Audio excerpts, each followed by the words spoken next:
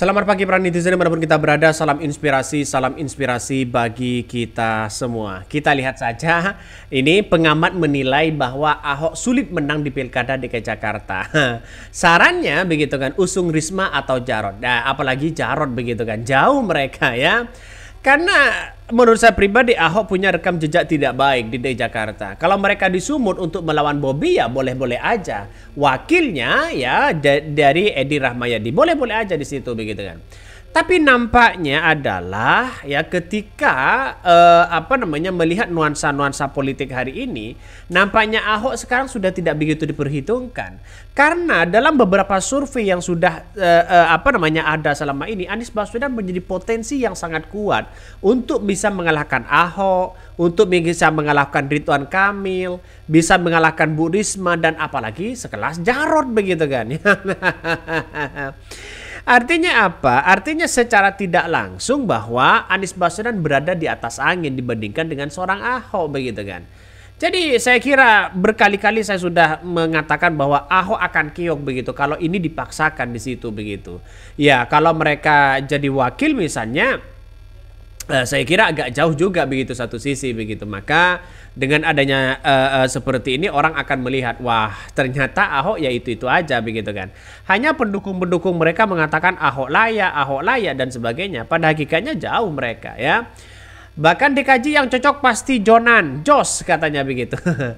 Ahoker sudah bubar tak ada lagi teman Ahok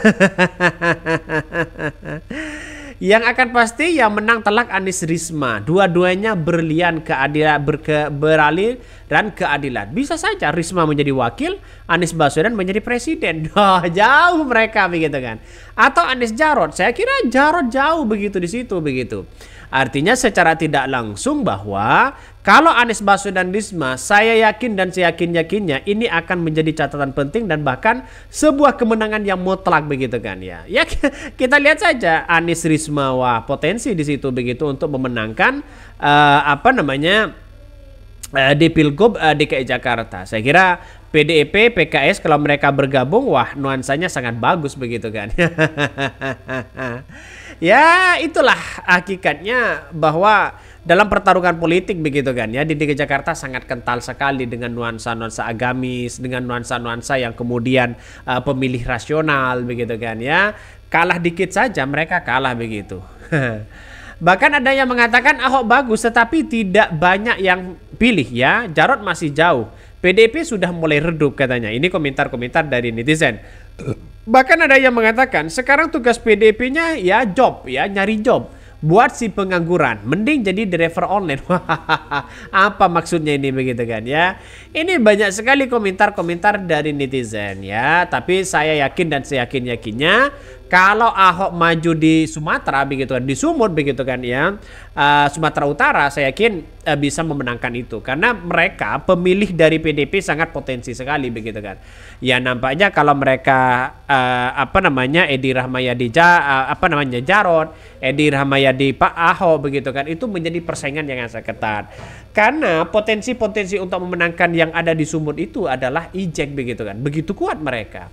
Tapi nampaknya Ahok sekarang ini uh, apa namanya kalau digadang-gadang menjadi salah satu calon di gubernur DKI Jakarta sah sah aja sebenarnya. Tapi menurut saya pribadi harus dipertimbangkan kembali begitu. Nampaknya ya tidak akan mampu melawan Anies Baswedan di DKI Jakarta.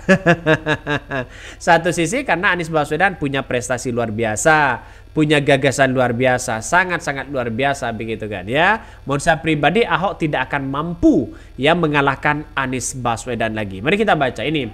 Pengamat nilai Ahok sulit menang di Pilkada DKI Jakarta, saran usung Risma atau Jarot. Kasus penistaan agama yang pernah yang menimpanya dinilai sebagai ganjalan Basuki Cahayapurnama atau Ahok untuk maju pemilihan gubernur DKI Jakarta dalam Pilkada DKI Jakarta 2017. Bahkan ya pengamat mengatakan bahwa uh, ini pengamat mengatakan bahwa uh, Komarudin ya sebagai pengamat menilai bahwa meski Ahok sudah menjalani hukuman menjadi warga eh, binaan selama satu tahun delapan bulan, akan sulit bagi mantan gubernur Jakarta itu maju sebagai uh, pilkada DKI Jakarta. Ya nampaknya, ya betul juga begitu kan, punya rekam jejak tidak baik. Bahkan Ujang menjelaskan dalam politik akan men mencari jalannya sendiri ya atau tidak menutup kemungkinan permasalahan Ahok sebelumnya ya akan diungkit kembali. Jelas mereka begitu dan menjadi bahan asumsi lawannya ya. Di sisi lain ya kasus penistaan agama telah melekat masyarakat di Jakarta apalagi tingkat regi regilitas masyarakat Jakarta sangat tinggi. Bahkan lebih lanjut Ujang menilai PDP mestinya ya pastinya memiliki kans ya atau Ahok maju pilkada atau elektabilitas Ahok mumpuni namun kemungkinan kasus penistaan agama akan ya diungkit menjadi senjata lawan politiknya. Betul begitu jauh mereka begitu kan. Karena di DKI Jakarta pemilihnya itu rasionalitas, rasional Ya, kalau mereka punya gagasan, terus kemudian mereka punya terobosan, punya bukti, mereka yang akan dipilih begitu kan. Ya tidak mungkin lah memilih Ahok uh, yang kemudian punya rekam jejak tidak baik begitu. Satu sisi rongsokan uh, bis rongsokan sudah sudah uh, uh, apa namanya?